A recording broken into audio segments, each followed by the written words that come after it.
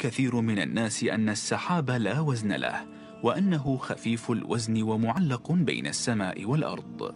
والحقيقة أن متوسط وزن السحاب قد يزيد عن ثلاثة آلاف طن بل قد تزن بعض السحب الركامية أكثر من ستة ملايين طن وهذا ما يعادل ستة آلاف حوت أزرق.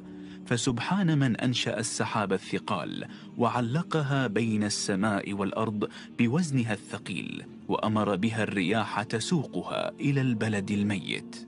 فسبحان من يبسط السحاب في السماء كيف يشاء. فلكل سحابة من هذه السحب صورة ووزن وأثر تختلف فيه عن الأخرى فسبحان من يؤلف بينه ويجعله ركاما وسبحان من يكون السحاب في السماء جبالا فيها من